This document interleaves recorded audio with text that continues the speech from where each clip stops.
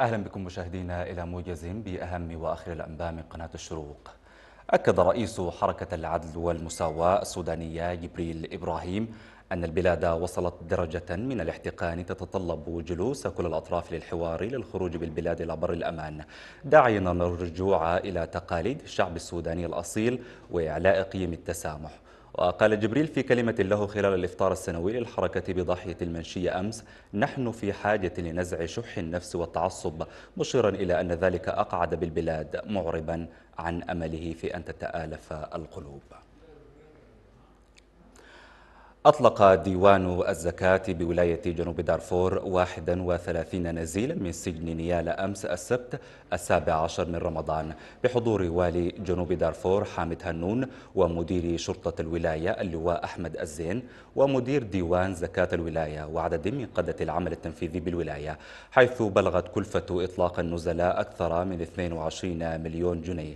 ودعا والي جنوب دارفور حامد هنون النزلاء الذين أطلق سراحهم بالاستفادة من دروس الماضي ومراجعة النفس والتفكر في المستقبل شاكرا جهود الزكاة في دعم الشرائح الضعيفة خاصة في شهر رمضان المعظم.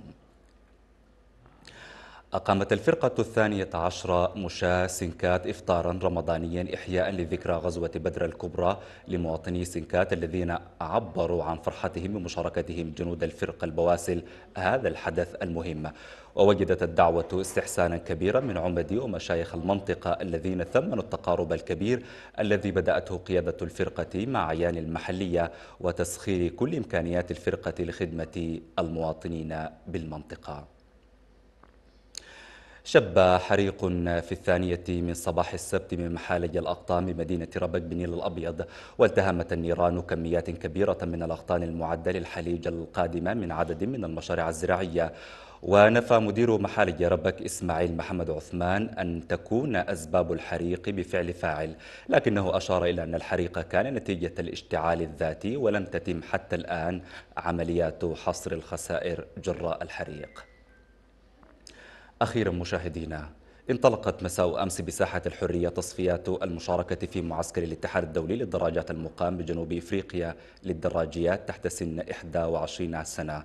وتجدر الإشارة إلى أن الاتحاد السوداني للدراجات في دورته الجديدة بدأ فعليا في تنفيذ برنامجه الانتخابي الذي وعد به وكانت أولى خطواته تطوير اللعبة عبر رفع كفاءة الدراجين وأساليب التدريب والمعسكرات الداخلية والخارجية والمشاركات الخارجية. انتهى موزة الأخبار المزيد تفضلوا بزيارة موقع شروق نت في رعاية الرحيم.